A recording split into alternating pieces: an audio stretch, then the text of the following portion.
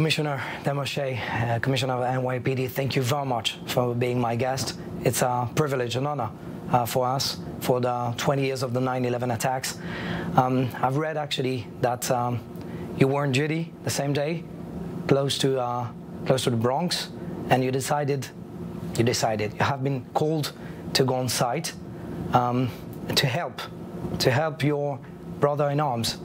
And um, what I read actually is that your feeling was, I can't do almost anything. Can you tell us exactly if you remember the first second when you heard about the, the attack?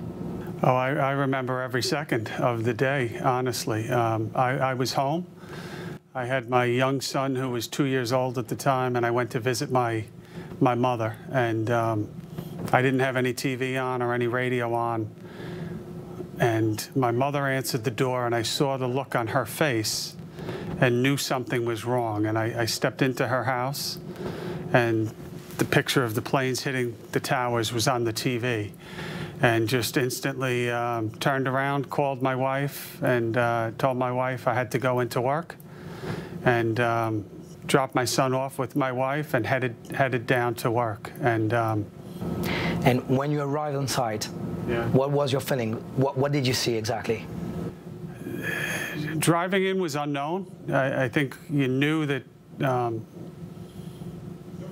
that something terrible had happened, and you didn't know what that really meant at the time. And you had, you had the feeling that we were going to war. You didn't know if you would see your loved ones again, honestly, driving into work. Because if you, if you recall, it's now we know what happened that day. But at that moment in time, we, we didn't, what we knew was that there were a series of attacks. Uh, we didn't know what else was coming that day. And people, I think people forget that. There were some attacks, the terrorist attacks before, uh, but such as these, could you imagine once in your time, in your life?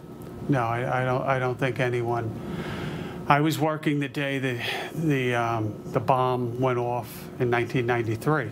Um, this was different. I mean, it's clearly related, and it's another attack on the same building. But the the uh, the magnitude of this attack um, across across the country was something that was, um, you know, just at the time it was unbelievable. If you were a commissioner at that time, what would be your answer? To respond to war? This is similar, I think, in many ways. You, you have to respond in, in, this position that I'm in right now. It's a little different. Um, you have to respond, but you also have to be removed. And you have to make sure that all the work that's gone into preparations and planning as much as you can for a terrible incident such as that. Um, that people do their jobs and people do what they're trained to do.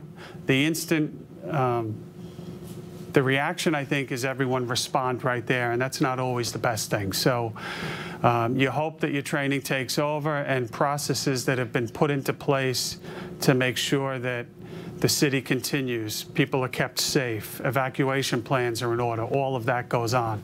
And that takes a level of management and I think restraint as well. Do you believe in uh, the security doctrine has been known in Israel for decades? And do you believe in it? Do you believe that we need as a common security doctrine? Well, I think the, the collaboration among people across this world is key to keeping people safe. Um, so when you look at the work that's gone into keeping, um, I think the world's borders have shrunk and what affects Europe or the Middle East or South America and North America um, is almost instantaneous.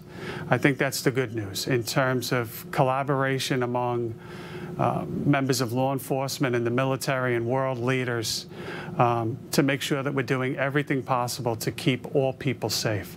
That collaboration is necessary. Um, I know, uh, and we know for a fact, that you took the heritage of Commissioner Kelly and you strengthened the Department of Intelligence uh, unit to make it not happen once again, yes. such an attack, such these attacks. Can you talk us about that? I, I think that's true. I, I think you got to give Commissioner Kelly an awful lot of credit. Um, it's one thing to now, again, to look back 20 years later, what we know. Um, when he came in shortly after 9/11 and, and standing up a world-class, world-renowned intelligence system. Um, the work that he did in terms of um, putting putting an apparatus into place to keeping New Yorkers safe, I think is widely recognized, and I think he deserves a lot of credit. And then as you move forward um, eh, subsequent commissioners, each taking a look at what the facts are right now and, and building on it. So, you know, when Commissioner Bratton came in, working with, uh, you know, the executive team here, which I'm proud to be a part of, and standing up the Critical Response Command and, and making sure that uh, we continue to assess what the threats are, work with our partners.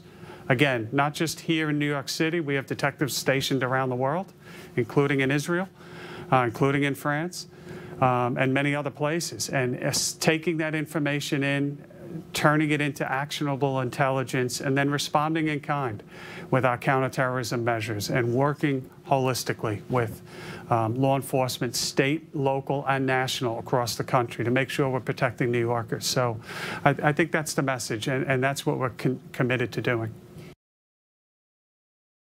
Your son that was with you on the day of the attacks today is an officer of the NYPD. Yes. Completely crazy like that. You know, he's he's getting you proud to be an officer today. It is. It is. Uh, it's humbling to see, you know, life come full circle like that, and you see that often in this. Uh, you know, in my case, you mentioned I was with my son 20 years ago when I found out, and now he's on the streets in New York keeping New Yorkers safe. But I see that play out many times. We, we, we lost 23 members on 9-11 from the NYPD. We've lost hundreds more since to illnesses as a result of uh, the terrible attacks.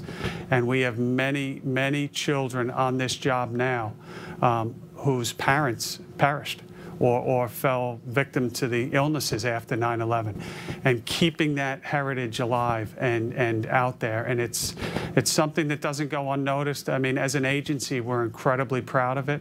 And I know that uh, as, as their loved ones are looking down from a better place, that they're incredibly proud too.